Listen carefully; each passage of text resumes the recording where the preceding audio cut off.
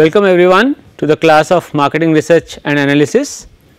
In our previous uh, uh, classes we had discussed about uh, the research design, uh, we spoke about exploratory research and its types, uh, then uh, we did with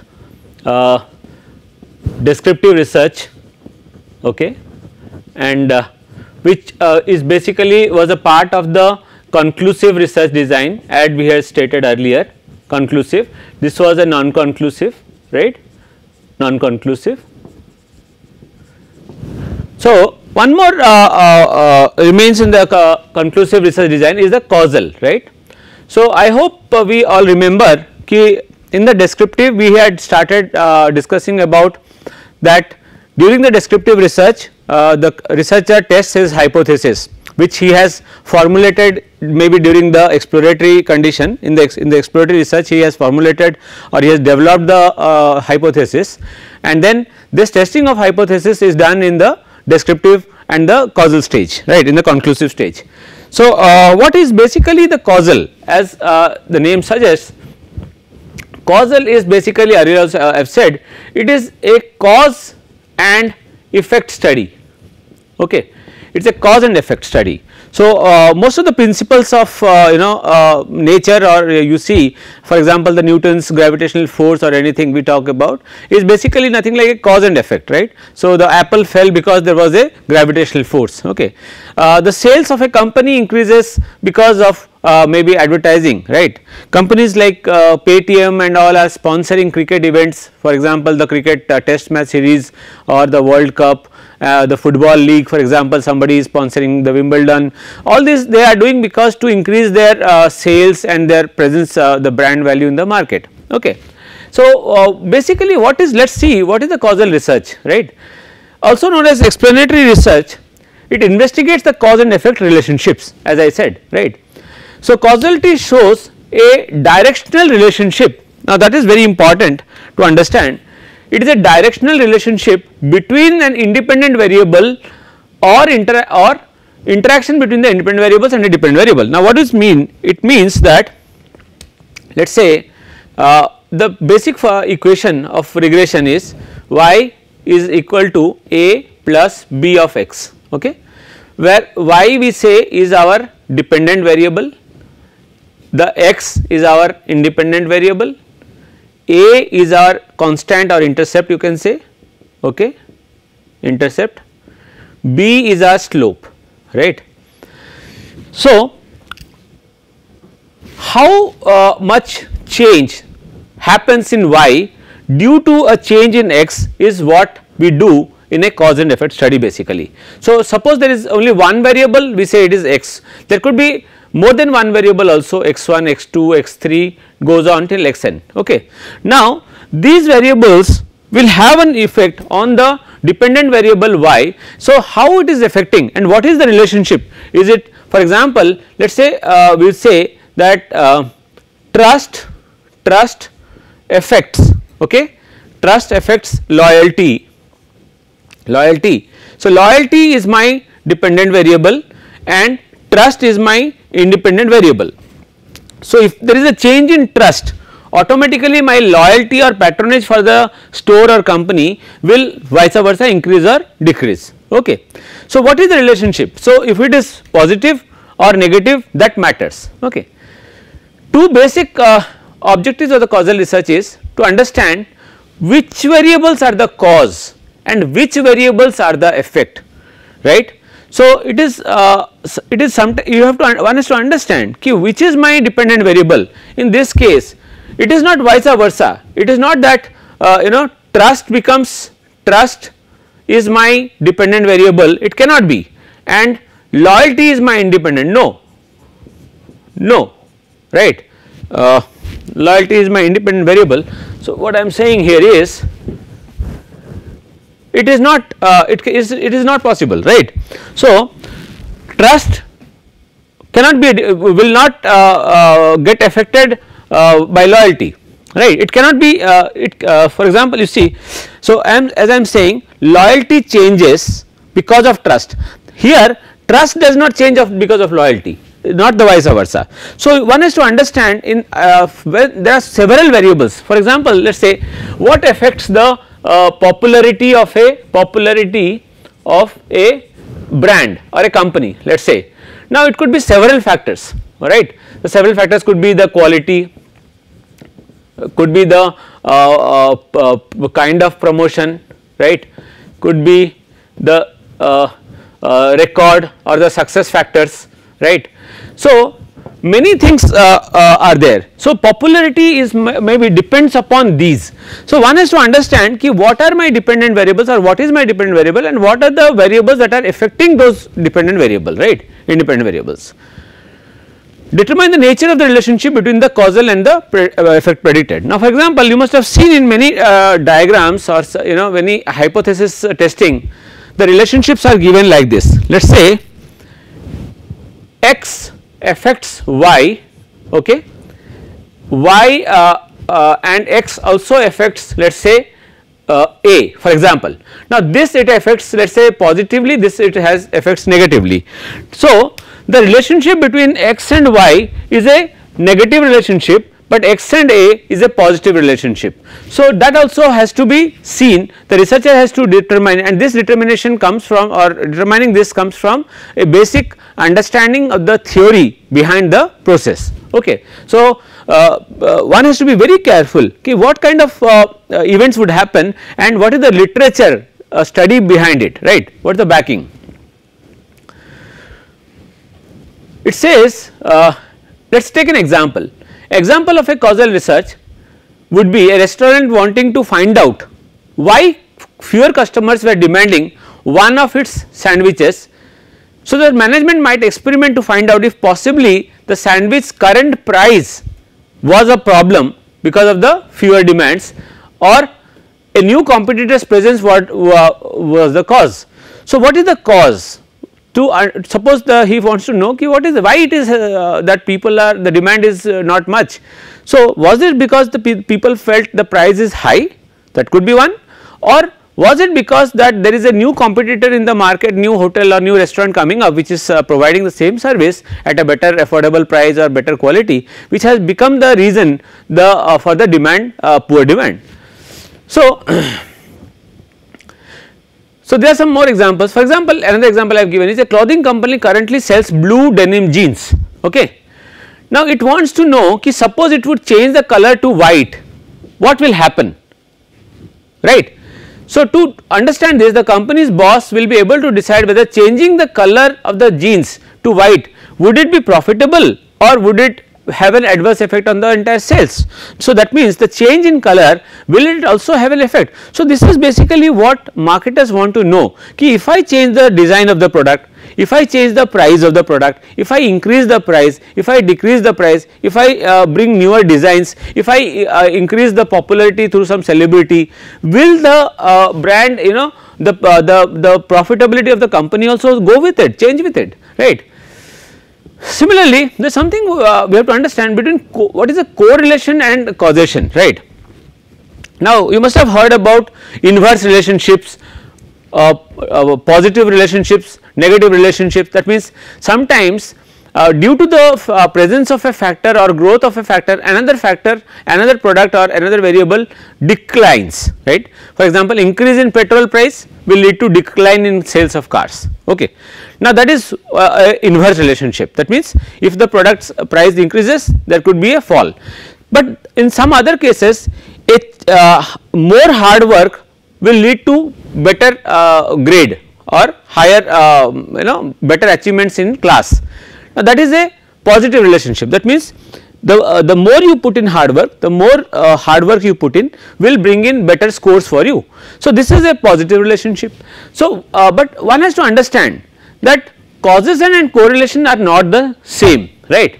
For example let us go to this example now now we know that when summer increases the uh, the you know the desire for ice creams increases right more the temperature more the uh, you know desire.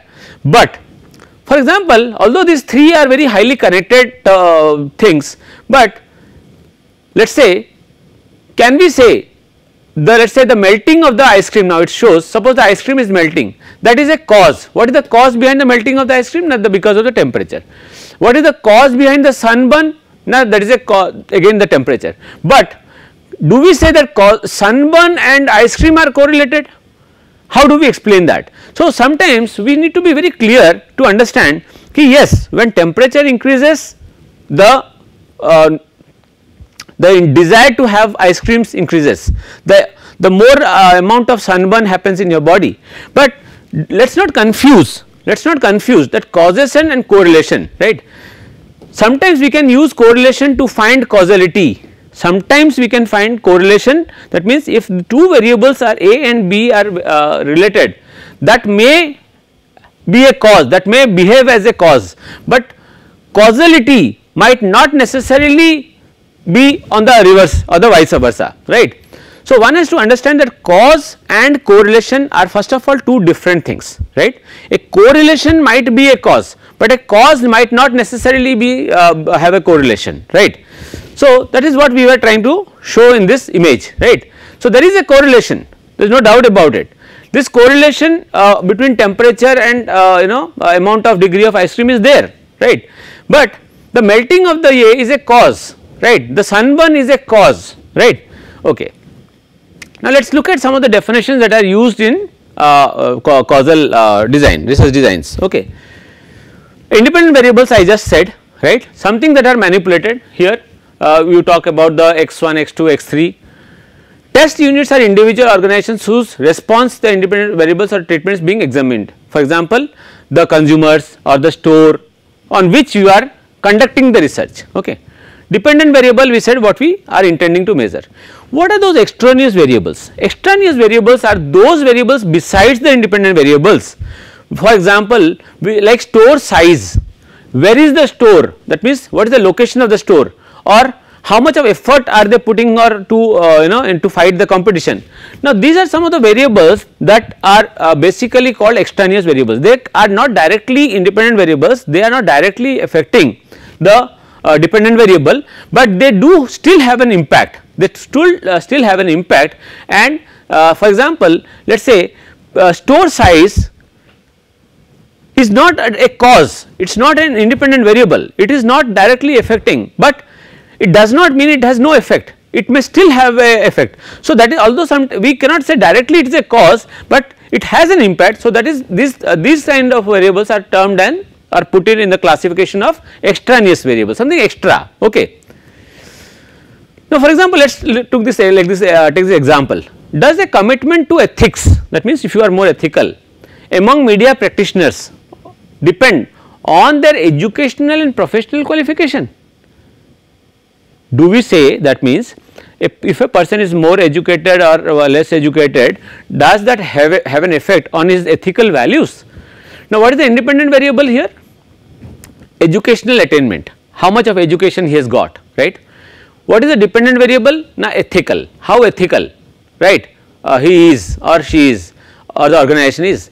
What is the intervening variable now intervening variables are sometimes those variables which interfere and they change the they behave like a kind of a not exactly a moderator but they uh, they uh, bring in a change in the relationship right?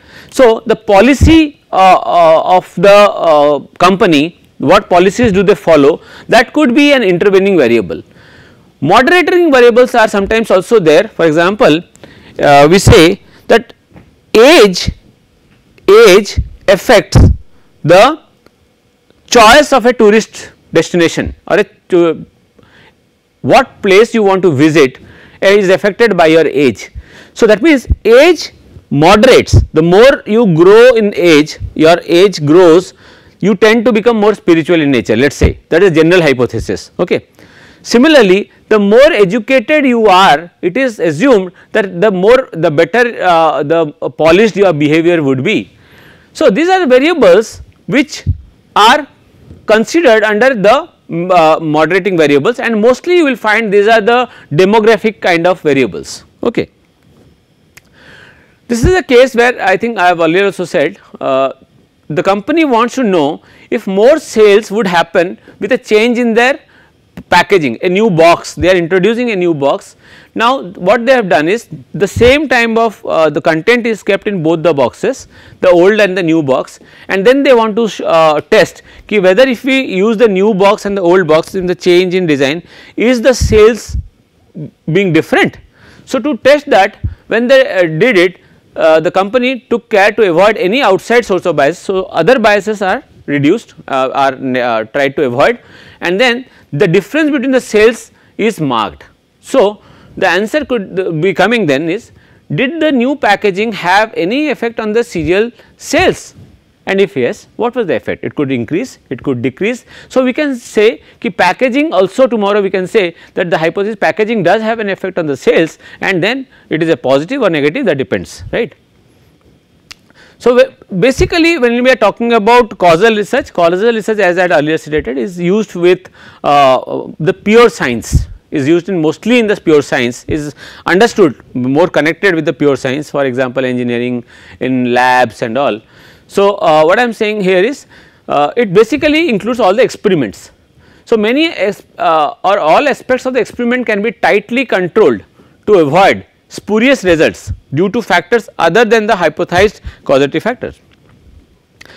Now sometimes the results comes very uh, eccentric results we get right and those results are just because sometimes of a lack of understanding of our independent and dependent variables right. So suppose uh, you say tomorrow that birds are flying in the sky right and uh, let us say there was a uh, lot of uh, increase in sales for example. So, is there any connection between the uh, birds flying in the air and the sales? No, not at all. So, these are called spurious relationships. Okay. So, uh, when we talk about experimentation, we talk about lab experiments that I just said in engineering in a, in a chemical lab or somewhere. Field experiments what we do on the field for example, the marketer wants to know whether if I increase the uh, if I change the let us say the design of the entry to the uh, store or if I change the packaging of the uh, of my uh, product will it change in my uh, effect uh, the sales. So, field experiments. Now, two words are very important as I uh, in the last class also we discussed internal validity and external validity. What does internal validity mean first of all? First of all validity though we understand that validity means that the instrument that you are using has to be justifying it is justified that it is doing the job what it is intended for right. Now, what does internal validity say? Internal validity says that manipulation of the independent variables the manipulation of these independent variables or treatments or treatments right? Actually caused the observed effects of the dependent variables. That means what? What does it mean? It says that if suppose you are trying to study popularity popularity and these are the variables as you have taken then these variables are the ones which are actually explaining and there are no other variables as good as that right if the to have a high internal validity the researcher will have to conclude or come to a conclusion somewhere that the these are the independent variables which he has chosen are explaining, but that is actually in real terms it does not happen. It does not happen. Because however you may uh, conduct a study however good your study may be sometimes we tend to miss some important variables. Although we cannot take uh, uh, you know we cannot escape by saying that this is a part of life, but we should try to uh, reduce it as much as possible. But whatever it is human errors will always be there. You will surely miss out one or two somewhere important variables also. It is possibly there right? You might not feel they are important but they might have a very important bearing on the study. So that is one is internal validity. So that means the subjects that you have taken treatments that you have given actually are affecting the dependent variable Second is external validity. What does it mean? External validity means whatever study has come out or the result has come out that should be generalizable in nature. Now it says the cause and effect relationships found in the experiment can be generalized okay to what populations settings times independent variables and dependent variables can the results be projected that means what if a study does not have a generalizing ability then we would say that there is a lack of external validity. So, external validity means that this can be utilized or projected for a for all the types of uh, you know uh, experiments or in the future. So, let us see some of the experimental designs. It says the test units uh, what uh, we have already taken. So, these are uh, these are the different uh, you know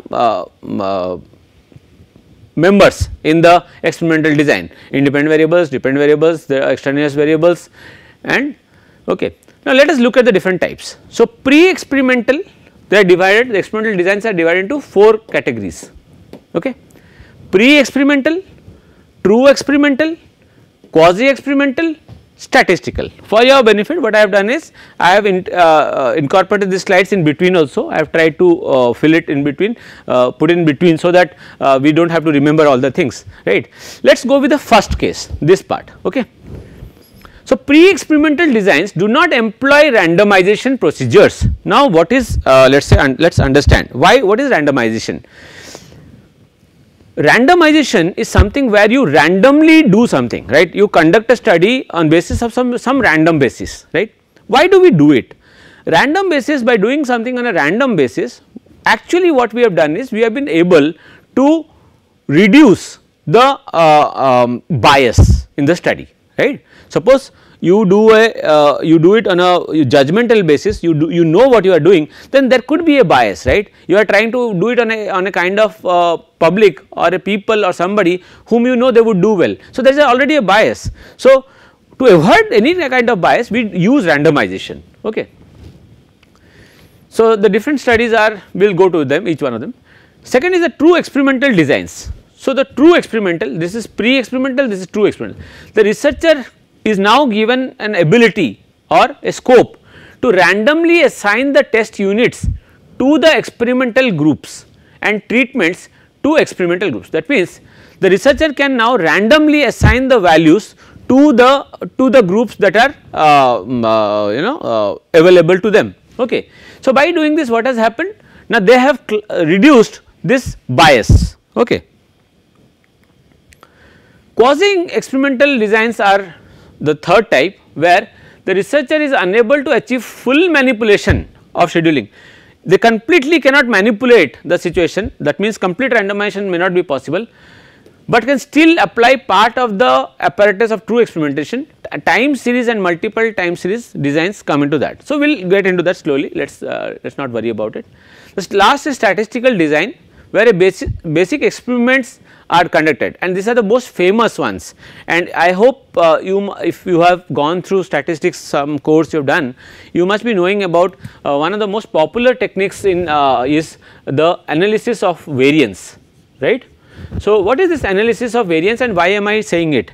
So, the analysis of variance is a study where we are uh, trying to uh, study uh, uh, for a for a factor with more than two levels for example let us say when there is a factor with two or more levels or there are more even number of factors that depends one way of ANOVA, two way ANOVA, three n way right but the number of levels. So, suppose you have let us say two levels let us say uh, this is sample 1, this is sample 2, this is sample 3.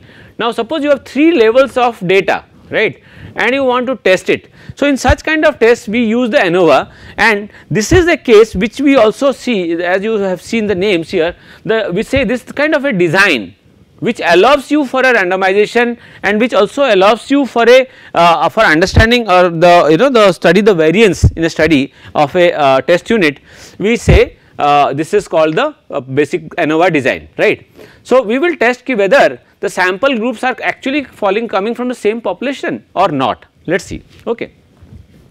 So, what do the, what does it have you have a randomized block de design you have a basically in fact before this you have something which is called completely randomized right and then we have a randomized block Latin square and factorial designs. Factor, Latin and factorial designs are basically very similar excepting uh, there is small difference between that is the Latin square design is an incomplete factorial design you can say right okay we will see that. So, let us go with an experimental design. I have taken this example from the net only. So, uh, in, in case you might find some, it was from uh, one of the universities uh, slide I was seeing. So, the question was does protein supplementation increase muscle increase Now that is the basic question. Okay. So the in the one shot case study, let us go back. So these three one shot, one group, statistic. Okay. A single group of test units here if you see now this is a treatment. Treatment x is given. O is the observed value right? A single measurement on the dependent variable is taken O1 there is no random assignment in the one shot case study right. So, pre experimental there is no random assignment. The one shot case study is more appropriate for an exploratory research where the researcher wants to understand in those cases this is a very uh, this is a, this is a good way right. But these are having its own limitations also. So, what is happening now this is the uh, treatment let us say a protein powder is given and the health of the person whether I have shown you very uh, uh, good health now the health is affected it might not be correct also it might have if it would have been having no effect then we would have not shown it something like this but whatever. So, whatever uh, uh, is happening to the person right his uh, muscle quality that we are measuring here. Second is a one group pre-test post-test. So, there was a limitation in the earlier one that there was no pre-test. So, now we have introduced this pre-test. So, twice it is measured there is no control group right that means only one treatment group is there on which we will treat right that is like the sample right and the treatment is computed as O2 minus O1. The validity of the conclusion is questionable since extraneous variables are largely uncontrolled. Now, what does it mean? Please uh, first understand then uh, we can see this. Now, when I am saying let us say uh, let us understand from here only. Let us say uh, when you are giving this first the health of the person was taken. This is how the company is advertising. The protein was given the treatment and then the health was checked again. The muscle was checked again right. But how can we say that it is only because of the protein? It could have been also because the person has changed his sleeping habits the person has started uh, uh, doing something else which he or earlier was not doing. So, these things are not taken here right. So, external variables are not controlled here. So, this is the pre-test post test. The third is we say the static group design where two groups are brought in now right. One was the experimental group the other is a control group. Now, why see uh, basically to understand that experimental designs were uh, developed by uh, long back by Fisher. Okay. Fisher was basically an agricultural scientist who uh, was uh, who actually gave us this wonderful technique of uh, uh, you know experimentation where he said how different blocks of agricultural fields can give outputs right and he then introduced that let us have put the fertilizer into maybe one group and the other group we will keep it as it is to mark the difference right. So, something similar he did so, experimental group is exposed to the treatment, control group is not. Okay. Measures on both the groups are made only after the treatment, please remember. So, there is no pre-treatment here. Okay. So, let us see this treatment given group 1 placebo is that means it is a it does not have any treatment effect there is a kind of a you say uh, uh, it has no value uh, nutritional value or something you can understand that way right it is nothing it is uh, it is just a powder. So, which the person might feel uh, it is there or not there. So, placebo and then the change in health. So, if there is a really difference between OA O1 and OA then we will say that this effect is because of this uh, um, protein powder. So, that is what it does right. Now, let us go to the next the true experimental right. Now, the first in the true experimental is the pre-test post-test control group right. In this if you see what we have done test units are randomly assigned to the either the experimental or the control group random. Earlier there was no randomization right. Now, the now we have brought randomization. So, that means if let us say this are this is there are uh, there are field this is a field okay and uh, there are 4 blocks let us say 1, 2, 3, 4. Now, I early I, I can now bring in the randomization I can use fertilizer maybe in this one and this one and not this one these two. So, right. So, it is my wish or I can do uh, on this one and uh, this one and not these two. So, whatever I do right. So, I am bringing in a randomization right. So, uh, a pre-treatment measure is taken on each group, pre-treatment it is done right and the treatment effect is measured O2 minus O1 let us see this. So, so there is a random. R is random. The R stands for random right. So, what it has done? So first there was a pre-test then treatment then post test treatment pre-test uh, treatment post right? But this this experimentation can be done on a random basis. Now this is the actual protein and this is the placebo right. So, when we are doing this so we are able to uh, find out exactly key what is happening uh, in this process. Okay. Post test only now that was pre test now this is only post test we will do. In the post test if you see what it is doing is the let us go back and see except for pre measurement other things remains the same except for the pre measurement other things remains the same. Now there is no pre measurement random assignment is there right to which group you want to put in the random group uh, you want to take treatment and which one is the control is up to you. Now you have taken these two values O1 and O2 and the difference O2 minus O1 O1 minus O2 for example right uh, okay this is the o, O1 because this is the treatment right. So O1 minus O2 is your desired result okay. This is uh, this is a again uh, comes under the true experimental design. This is a 4 group design where a lot of randomization is possible. It combines pre-test and post-test with control group and the post-test only with the control group right. So, uh, there are 4 tests what is basically happening here right. So, if you see this 4 tests Solomon 4 group design in which O1, O2, O3, O4 O5 and O6. Now these two do not have any kind of a pre-test, there is no pre-test right, but for the first two this is treatment placebo, treatment placebo. So what has been done? Four basic different groups of experiments have been done in which first there was a treatment given and the pre-test was taken, post-test was taken.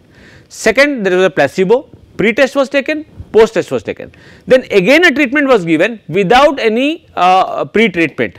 Now why the researcher wants to do this? Sometimes he wants to do this because he wants to find out first of all in this case to chalo it he uh, he is trying to find out the difference okay but in this case he wants to say ki maybe the pre-test is not required right the pre-test maybe could have the result which is coming could have become, uh, been possible because of some reasons unknown to us so, let us take this as there is as if no pretest is allowed here and it has been the first test on these two uh, sample groups and then the difference between these 4 will exactly tell us okay, what is the result of the or the impact of the study. Okay.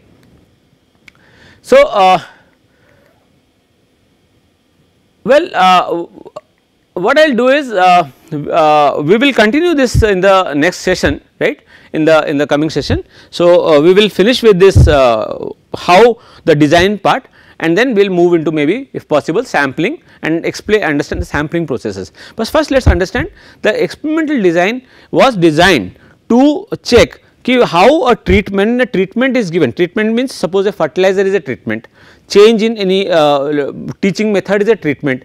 If you give a treatment is actually something happening to the uh, group. So, or, the result. So, to do this we have several tests of we say tests of uh, means right? For example, a t test uh, or a uh, test of variance as I showed ANOVA right. So, where we try to have some treatment groups and some control groups maybe and then try to see ki what is the effect at the end to on the uh, final research outcome. Okay. Thank you very much.